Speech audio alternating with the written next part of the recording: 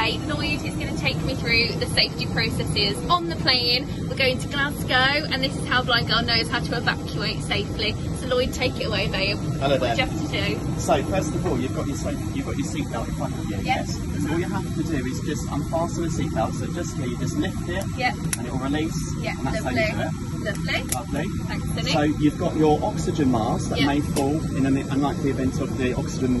Up here. Yeah. So basically, it's just going to fall right here, and it will just go in front of you. And you literally pull it towards you. Yep, Yeah. okay. Put it over your face and over Like- your mouth and nose. like that. That's it. And then you can pull just here. You just pull these straps. Like You've got one each side. Oh, Just okay. there. On your face as well? Yep.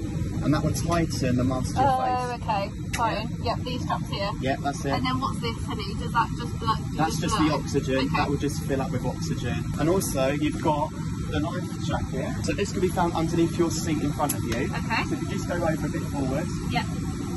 Right underneath that seat. Oh, yeah, I can feel it There's a little yeah. toggle that you just have to pull out. Okay, And cool. this will be this life jacket here, just in front of you. Okay, cool. Put your arm out. So you'd open it up like that. So can you you can feel that little toggle there? Yeah. Okay, And then you put it over your head. Over my head, yeah. Okay, And then this cool. strap would literally just pass all the way around you. Can you feel this strap here? Yeah, cool. It'll all the way All around. around. And Yeah. you would just clip it. Clip it, yeah.